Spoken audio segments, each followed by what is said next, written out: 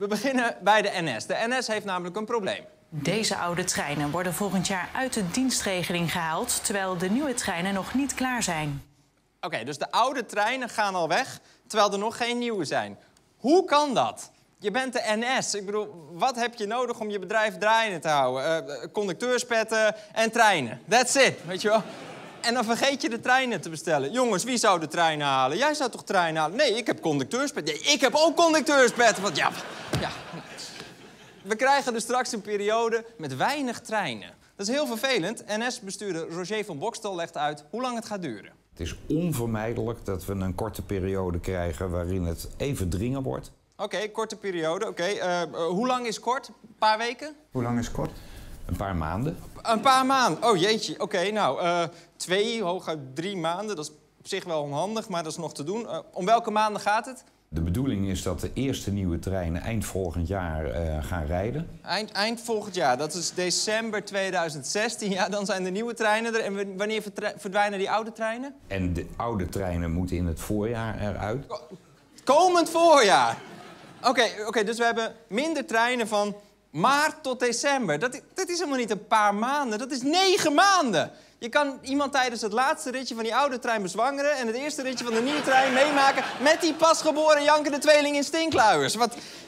En dat weet Roger natuurlijk ook wel. Dus je ziet hem nu denken, je ziet hem, hm, ik moet iets verzinnen. Hoe laat ik negen maanden nou zo kort mogelijk klinken? Dus we hebben een, een, een, zeg maar een opgerekte zomerperiode waarin we problemen hebben.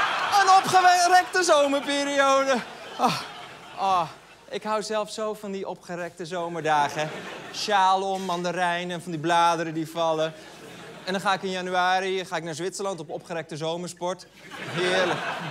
Snowboarden, gluwijntje erbij. Op de bank met het nieuwste boek van Leon de Opgerekte Zomer. En daarna een aflevering van Game of Thrones. Opgerekte zomer is coming. Maar, maar je moet het van Bokstel nageven hij kan omdenken. Die man die denkt out of the box toch. Dus hij... hij heeft vast ook een goede oplossing voor zijn treinprobleem. Het zou wel eens helpen als een aantal onderwijsinstellingen zou zeggen... in plaats van negen uur beginnen, kan er niet om tien uur. En dan niet om drie uur stoppen, maar pas om vier uur. wacht even, wacht even. Dus jij vergeet treinen te kopen... en dan verwacht je dat de rest van Nederland zich gaat aanpassen met opgerekte lesperiodes. Moeten we dan al jouw problemen oplossen? Uh, ja, en het zou wel eens helpen als iedereen uh, zelfs ochtends even een broodje smeert. Dan hoeven wij niet overal van die winkeltjes neer te zetten. um, en als jullie in het vervolg even elkaars kaartje kunnen controleren, dat zou... En uh, leer anders een paar leerlingen om zo'n trein te besturen. Dat scheelt echt een hoop werk, ja. Yo, goedemorgen, goedemorgen, pieps. Dit is Yusuf uit M3B. We zijn kapot laat, maar dat halen we nog wel in. Check deze. Ik maak een wheelie. Mayo. Mayo. Goed idee.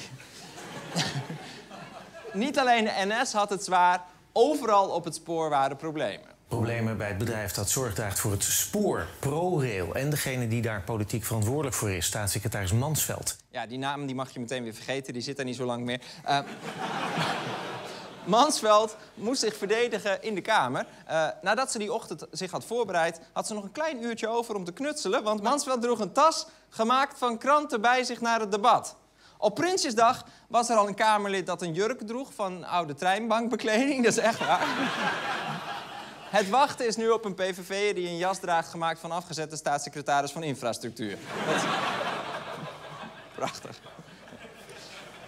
Oké, wat was er nu precies aan de hand? Staatssecretaris Mansveld vecht op dit moment voor haar politieke leven. Ze ligt zwaar onder vuur tijdens een debat in de Tweede Kamer. Keer op keer lekken kritische rapporten uit over spoorbeheerder ProRail. Over financiële tekorten, falend management. De Kamer is verontrust. Ja, Mansveld zit in een lastige positie, maar hoe verdedigt zij zich tijdens het debat? Bedrijven en mensen die geen fouten maken wonen volgens mij in de Efteling. Maar, mevrouw Mansveld, er wonen geen mensen in de Efteling, dat zijn poppen. Tuurlijk, die pratende boom, ik voelde ook echt een klik. Maar, is niet echt. En Hollebolle Gijs, dat is geen jongen die de hele dag trek heeft in papier. Dat is gewoon een prullenbak met een cassettebandje. Oh, mevrouw Mansveld. Nou, de vraag rijst, is het allemaal niet een beetje te veel voor de staatssecretaris? In Politiek Den Haag is iedereen het erover eens dat Mansveld een veel te zware portefeuille heeft en de minister te weinig. Behalve het spoor doet Mansveld KLM, Schiphol en het milieu.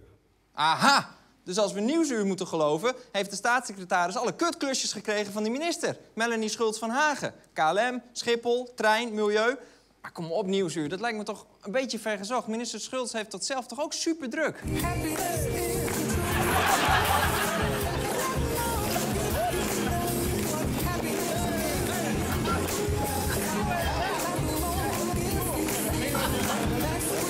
Oh, sorry. Oh, sorry, we zijn alweer begonnen. Sorry. Oké.